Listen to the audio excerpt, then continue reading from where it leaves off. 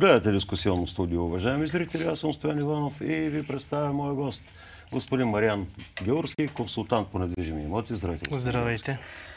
А, и така, щом съм поканал консултант по недвижими имоти, очевидно точно за недвижимите имоти ще говорим. А, и то а, от една определена, от един определен ъгъл, айде не гледна точка. Срещали сте коментарите, уважаеми зрители. Предполагам, понякога и вие сте коментирали какво става с цените на недвижимите имоти, особено на жилищата в България. Жилищата вълнуват, разбира се, най-много. Ма тези цени поводяха някакви невероятни 2000, 2000, не знам колко си евро на квадратен метър и то в крайни квартали на... Крайни, крайни, не престижните квартали на, на София, по 1500 и нагоре в а, другите по-големи градове и така нататък. А, сега ще поговорим за това кой и какво раздува цените на недвижимите имоти, какви са тенденциите, а, дали това, което българинът традиционно обича да прави, когато спестява да инвестира на времето главно в земя, сега вече не толкова, а пък инвестира в, в имот. Все още е правилна крачка, поне за момента. Има ли балон и ако има, ще се спука ли той? И какви са полуките от кризата през 2008-2010 година? Тя, този период удари и България. Започна малко по-рано от Съединените щати, разбира се. А, и така, хайде да започнем с, с това. Много мнозина твърдят, включително и ваши колеги, и анализатори, да. Че цените вече са преминали разумните граници и в момента в България се надува балон. Каква е реалната картина?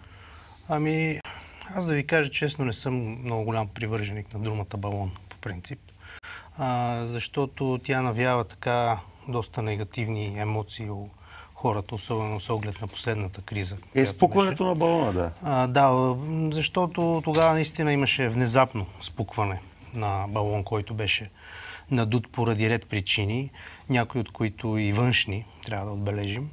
А, и се получи така, че след влизането в Европейския съюз рязко се вдигнаха цените на имотите и рязко се спука така наречения балон. Всъщност, какви бяха причините тогава? Вие казахте влизането в Европейския съюз. А, аз знам, че при предстоящо влизане в Европейския съюз, това беше процес, който се наблюдава във всички страни. Така е било в Гърция, нали, още преди да, да нали, преди да падне Берлинската стена, 81 Но когато предстои да влиза Гърция, че Испания е 70 някоя година да, също. също а същото се наблюдаваше в Чехия, в Полша, в Унгария. Предстои да влизаш в началото на влизането, цените скачат много бързо, отвояват се, даже отрояват се понякога. Да, да, именно. А, това съвпадна обаче с а, една много разслабена кредитна политика тогава. И от тук идват опасенията. Аз се извинявам, че да. просто да ви поставя да, в контекст. Да, нещата са свързани. Да ви поставя в контекст, защото сега има такива признаци и аз ще прочета данни от БНБ, подготвил съм се. Така, темпа нарастване на обща стоеност на жилищите кредити, това е БНБ. На домакинствата се ускорява. Вече е 22,7% на годишна база към края на март, спрямо март миналата да. година. Тоест с 23% спрямо март миналата година. Са увеличили жилищните кредити като размер. Така. Само за март банките са отпуснали 630 милиона лева нови жилищни кредити. А, без да отчитаме те за предоговаряне и рефинансиране. Да. А, през март 2023 година, една година по-рано, е 454 милиона лева, а пък през 2021 година е 315 милиона лева, т.е. тук имаме двойно увеличение за две години. А, за първите три месеца на тази година новоотпуснати жилищни кредити са милиард 642 милиона лева или са 49% повече от отпуснатите през първото три месече на миналата година. Отново имаме кредитна експанзия, изливане на голямо количество пари в този сектор. Да, абсолютно е така. А, нали, сега някои теоретици на така наречените балони обичат да ги това да им бъде основния фактор, свръхкредитирането. А, но винаги зад едно кредитиране трябва да се погледне конкретно какво, кой за какво тегли кредити и как всъщност се обезки обезпечава тези кредити. Защото а, обезпечението всъщност в България е основно върху доходите на на населението. Доходите на населението трябва да кажем, че се увеличиха също така доста през последните години. Това не бива да се пренебрегва. Това в левове, да, като сметнем инфлацията, но пък тук при жилищата също е инфлацията влиза пряко, директно. Така е. Така е. Именно за това, това повече повлиява също така на покачването на цените. Аз затова исках да кажа, че реално този а, това поскъпване на цените, то се дължи на много фактори. Нали? Не можем да гледаме, да гледаме примерно само кредитите, а, само заплатите, а, дори и фактът, че влизайки сега в еврозоната, може да има някакво а, увеличаване на теглянето на кредити, за да се закупи имот преди да сме влезнали в еврото, в еврозоната. Това също е доста показателно, но според мен трябва да се погледне малко по-общо и малко по- повече фактори да се, да се имат предвид. Защото ние от една страна за повишаването на цените имаме фактори, определен брой фактори, от друга страна имаме определен брой участници на пазара. Всъщност те влияят най-пряко върху това, което се случва а, в момента. За економическия растеж стана дума от една страна, да, инфлацията е вътре. А, също така имаме а, инвестиции и в инфраструктура. Това е много важно, защото трябва да се отбележи, че цените не навсякъде растат цените растат там, където има най-голямо търсене. Нали, когато дойде човек, а, примерно от провинцията, да закупува имот в София, той къде се насочва да купува? Общо за всички се насочват на едно и също място. Южните райони, а, източните райони. Примерно София, тя не е единен пазар. Това трябва да се разбере. София е а, така мозайка от микропазари и всеки микропазар си има своите специфики. Да речем на север в а, столицата, там търсене то е много по-малко, отколкото в южните райони. Така че и това трябва да се, да се отбележи. Спекулативни сделки. Това също е много важен фактор. Има ли спекулативни сделки в момента на пазара или няма? Моите наблюдения е, че на спекулативните сделки намаляха след COVID-кризата. Е, каква е типичната спекулативна сделка на жилищния пазар? Спекулативната сделка, която влияе така върху повишаването на цените, тя е покупка на имот в много ранен етап на строителство, с идеята след това той да се продаде, когато сградата бъде завършена. А, с печалба. Нали. Примерно купуваме на 1000 евро а, имот и да го продадем на 2000 евро на квадрат. Такива... И това не е лошо. Това е нормален стремеж за печала и да, крие риск, защото е, понякога... Така е. Да. Те, то се плаща риска, разбира се. Но в крайна сметка имахме много такива сделки. Аз лично дори и с мои колеги съм си говорил и знам какво беше а, преди 3-4 години, как хората наистина, а, и то по-скоро хора, които се занимават с имоти в имотния бранш, са около имота, инвеститори, брокери, а, строители, които се опитваха да, да правят такъв тип сделки, им се получаваше в интерес на истината. В момента, в който, да речем, за две години се е повишила цената, средната цена на един имот с 20%, това, за което той се стреми съответния инвеститор, се постига. Така че това нещо също повлия. А, в момента обаче наблюдавам спад в а, на този, този вид, сделки. на този вид сделки. А какво е съотношението между сделките, които се купуват за, как да го кажем, реални жилищни нужди? Тоест, човек има намерение той или негови близки наистина да живеят там. Да а, и имоти, които се купуват с цел чиста инвестиция. инвестиция да. да. Дали заради покачването на цените, дали заради сметката Жилищни и такива малки търговски обекти в жилищните райони, обаче говорим, да. не индустриалните и да. търговските големите складове. Да, разбирам. Купува го, естествено, после го дава под найем, да, ще има доход, но това е инвестиция. Да, да. И съответно и такива имоти, нали, които mm. също се купуват за инвестиции. Ми да ви кажа честно, доста по-голям процент е на, на хората, които се опитват да си закупят дом, така да го нарека. Да си, за жилищни нужди. За, за инвестиции са по-малко. Може би преди 3-4 години бяха около 60 на 40, сега са може би около 70 на 30. Mm-hmm. Даже може да са 80 на 20 вече. Просто нямам нали, някаква статистика, върху която мога да ви кажа, чисто от личните ми наблюдения за, за имотния пазар мога да коментирам. А, така че большинството са а, сделки за имоти за жилищни нужди и за лично полза. Ако а, сега така, нека да не се приема като инвестиционен съвет наистина, но а, правилно решение ли ще е, ако днес имам имот в София и реша да тръгна да го продавам? Или е по-добре все още да задържа, да изчакам така. някакви по-добри времена, с оглед и на високата инфлация? Mm-hmm. Ми, лично моят съвет към продавачите е, че сега е идеалният момент да се продава. Ама вие току-що казахте, че не очаквате да продължат с такова темпо да се дигат цените. Точно за това. Защото не очаквам. А, след като цените се, те се стабилизираха миналата година, даже имаше лек спад около процент за София, мисля, че беше. В момента наблюдаваме някакъв, някакъв 3-4% увеличаване статистически, но то пак нали, това са неща, които реално а, ни говорят, че има стабилизация на, на цените и достигнат пик. Може би от година и половина вече сме в пика или на билото на пазара, което означава, че в момента е идеалният момент за, за продавачите да продават. Не толкова идеален момент за купувачите да купуват обаче. Защото пък това е следващия ми въпрос а, за покупката. Само, че има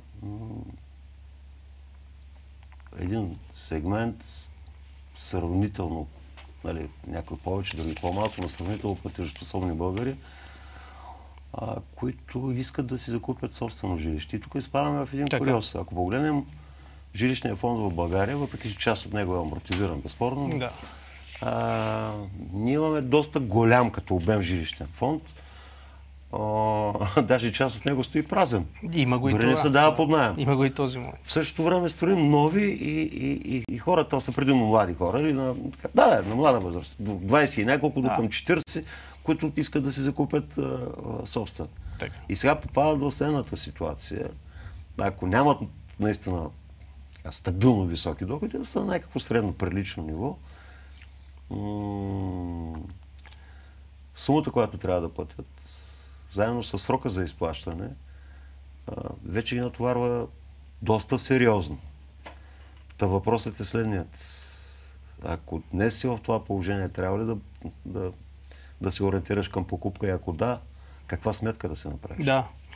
Ами, това е специфичното при купувачите, че в, при тях в голяма степен се, е валидно и това, че те купуват от нужда да купят. Когато, примерно, семейството се разраства, дете се появи или второ дете, тогава нали, нуждата вече притиска а, купувачите да закупят. А те и найемите растат и си правят сметка. Да, да. Също така. Размера на вноската в банката и размера на найема. Точно така, да. И за това, когато се купува жилище с кредит, трябва да се направи една много така внимателна сметка, да се консултира а, кандидат-купувач с, а, съответно с кредитиращи банки а, и да влезе в покупка с участие минимум 20% лични средства. Това го препоръчвам и смятам, че под 20% вече излизаме, влизаме в един риск. Най-малкото. Защо? Защото а, прекалено големите прекалено големите разходи по самата сделка също отежняват една покупка. Те са около 8%. Това говорим за такси и за комисиони по придобиването на имот, данък, местен и така нататък. А, и, и реално вече бюджета се натоварва и ако нямаш а, заделени средства поне 20%, може да се наложи да теглиш потребителски кредит, който ще е на много по-неизгодна лихва и съответно да влезеш в по-голям риск, да си буквално на границата а, на твоите доходи съотносими с, с кредитната вноска и съответно нали, с начинът ти на живот. Може да се промени, корено да се наложи да си промениш начина на живот, което реално не е необходимо при положение, че а, нали, в крайна сметка ти не си роб на този имот, а имотът е, трябва да ти служи на теб, за да живееш един по-добър живот. Нали? А ти в един момент можеш да се превърнеш в роб. В един момент можеш да спаднеш и в несъстоятелност, ако утре а, те съкратат от работа или нещо се случи с Всъщност, работното място. от кризата през 2008-2010 година бяха точно такива за България, специално в, тази област, защото имаше доста други тежки последици. Точно така. Аз тогава няма да занимавам зрителите с моите разработки и впечатления, но поради спецификата на тогавашната ми работа бях правил едни справки и се оказа, че 25% почти от българската економика 2008 година се е крепяла на а, строителство, имоти, сделки с строителство с имоти и така нататък. 24 и нещо бяха. И когато това гръмна и замръзна пазара, огромна безработица, да. знаете какво беше. Да, да, да. А, но а, тук е по-скоро нещо друго а, искам да ви попитам. А, ако а, в момента се появи някакъв външен тласък и наистина се стигне до някакви шокови промени на цените. Вие казвате, че е малко вероятно, но да кажем, се, може би не Се колкото случи. тогава, но Да. се случи. И спадне рязко търсенето. Оттам почва да падат и цените с 15-20%, те тогава паднаха и повече. Да. Какво се случва с хората, които в същото време обаче са се заробили с такъв кредит и са на ръба си? Ами, това ще е много неприятна ситуация за всички. Защото по принцип винаги може да излезеш от една такава ипотека, като продадеш апартамента. Въпросът е вече на каква цена ще го продадеш и изобщо ще можеш ли да го продадеш, ако се случи някакъв такъв катаклизъм. Нали? Десетки хиляди се изпратиха тогава, ако не е точно така. хиляди. Точно така, но, но това аз го виждам като някакъв доста крайен вариант. Да речем наистина сериозен катаклизъм, нещо като война или нещо, което да разтърси из основи нали, държавата и оттам а, и населението. А, такъв апокалиптичен сценарий не ми се иска нали, да, да има, но всичко е възможно. В крайна сметка никой не може нищо да гарантира. Еми, вие споменахте войната, война си има съвсем наблизо. Именно. Е една друга втора тече там.